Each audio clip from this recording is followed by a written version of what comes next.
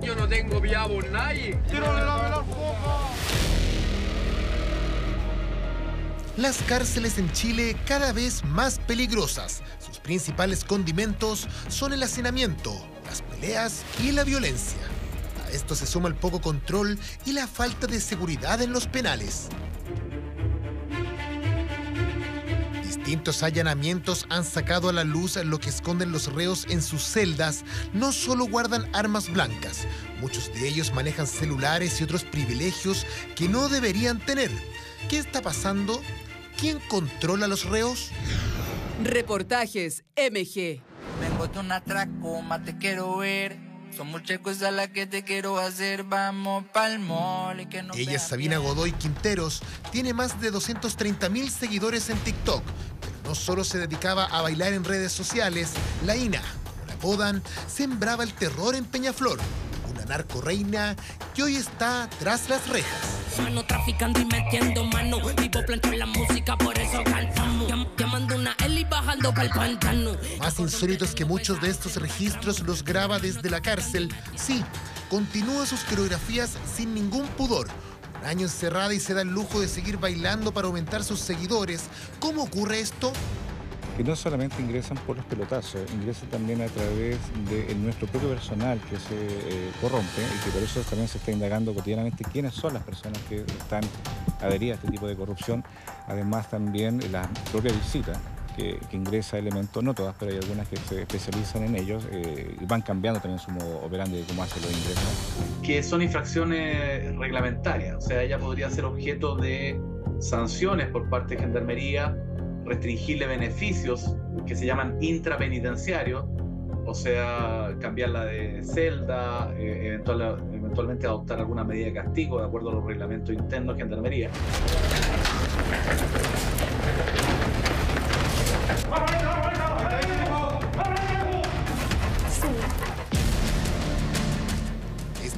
Algunos de los privilegios que se buscan eliminar en estos operativos de allanamientos simultáneos en cárceles del país. Solo en el último realizado la semana pasada, en 27 centros penitenciarios se incautaron 331 celulares, además de armas y drogas. y por tanto la forma en que cumple esa condena también tiene que ser. No puede ir a un espacio donde sienta que mantiene poder, que mantiene control, que mantiene privilegios.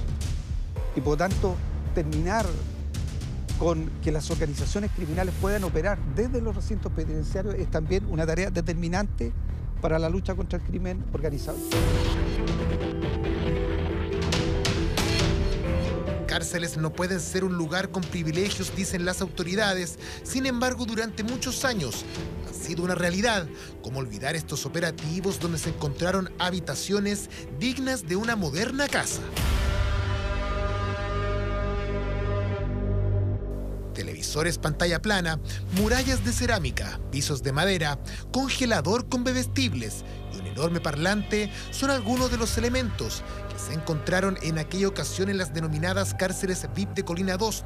Los celulares eran solo uno de los tantos privilegios que tenían. en orden a que las cárceles tampoco sean un lugar desde el cual se pueda delinquir. Es decir, las cárceles no sean un lugar desde el cual se pueda dirigir la actividad criminal. Vamos a insistir sobre esto, la cárcel tiene que ser una pena genuina, es decir, tiene que ser un lugar que sea temido, un lugar al cual los acusados, los delincuentes teman ir y no sea un lugar desde el cual su actividad criminal se pueda proyectar, un, lugar desde el cual puedan eh, continuar delin- delinquiendo. Son 13 los allanamientos simultáneos que se han hecho entre 2022 y 2023, sin contar los de años anteriores.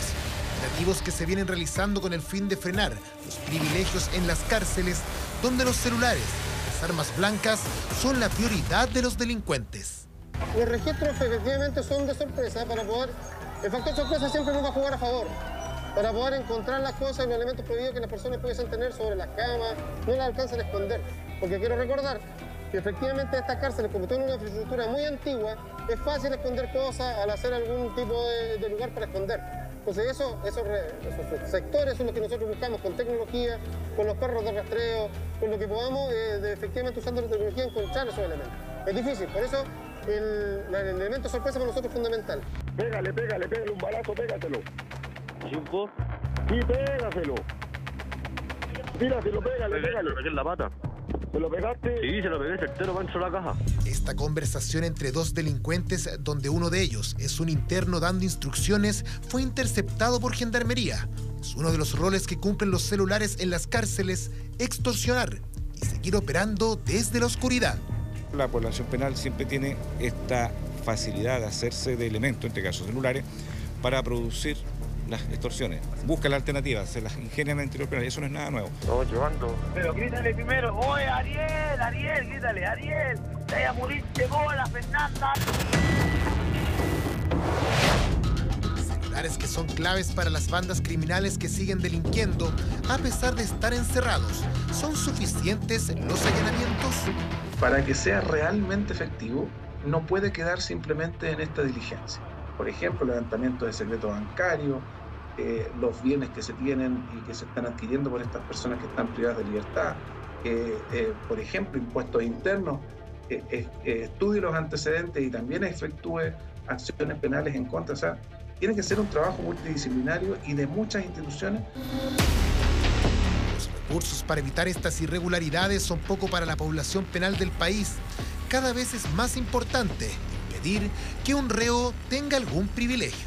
Hemos invertido importantes recursos, el presupuesto para el año 2023 creció en un 4,2%, más de 20 mil millones de pesos, y además también en la política nacional contra el crimen organizado, algo que va a plantear pro- probablemente el subsecretario Interior, hay recursos especiales para luchar contra el crimen organizado en eh, los establecimientos penitenciarios, más de 4 mil millones de pesos que nos van a permitir también, a través de este equipo de trabajo, ir focalizando esos recursos para lograr tener establecimientos penitenciarios. Televisores pantalla plana, cómodas habitaciones, por supuesto celulares, son algunos de los elementos que han conseguido peligrosos reos al interior de cárceles, una costumbre que busca ser eliminada. Recordar a los privados de libertad por qué fueron detenidos y encerrados por años. Bueno, yo creo que la nota es más, es más que clara y, y- da cuenta también de... Yo entiendo que esto no, no parte ni termina en este gobierno, pero hay cargos que son eh, directamente responsables. Creo que justicia es un ministerio que hay que, hay que revisar. El Prevención del delito, El José. ministro Cordero, prevención del delito. Del delito. Eduardo Bregar. Ayer veíamos también